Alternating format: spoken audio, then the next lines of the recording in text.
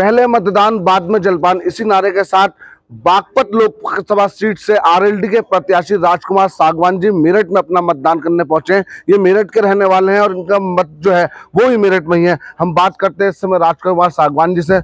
Sir, Meerut में मतदान में पहुँचे हैं। अब आप उसका बागपत जाएँगे। देखिए, मैं तो ये कि वोटर्स में जोश हो और जो चार सौ पार का नारा है माननीय नरेंद्र मोदी जी का, उसको साकार करने के लिए सभी अपना वोट डालें और पहले मतदान बाद में जलपान। इस नारे के साथ मैं तो बागपत आया हूँ, अपने लोकसभा क्षेत्र से, और वोट डाल के फिर मुझे उसी क्षेत्र में जाना है।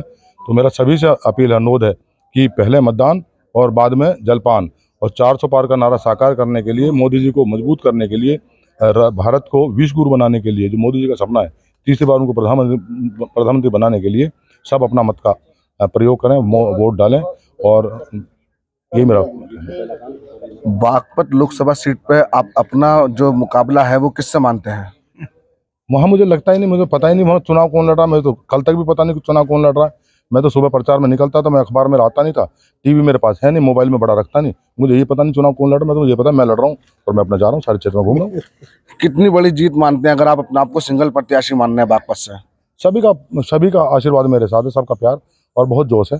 लेकर मुझे मुझसे काफ़ी स्नेह मुझे मिल रहा हमारा और सभी का वोट मुझे मिल रहा। हर जाति धर्म मज़हब का सबका वोट मेरे साथ है।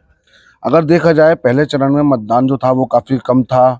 और अब की बात दूसरा चरण है तो जो मतदान कम हो रहा है उसको लेकर प्रत्याशियों में कितनी चिंता है?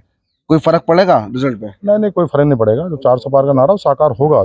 नरेंद्र मोदी जी तीसरी बार प्रधानमंत्री बनेंगे, भारत विश्व गुरु बनेगा। और सभी देश के जितने भी मतदाता हैं, वो सभी के मन में ये है। एक तरफ़ देश को लूटने वाले लोग हैं, एक तरफ़ देश को बनाने वाले लोग हैं। तो देश के बनाने वाले लोगों के साथ सब साथ खड़े हैं और मतदान अच्छा होगा अब बार झमाझम वोट पड़ेगा।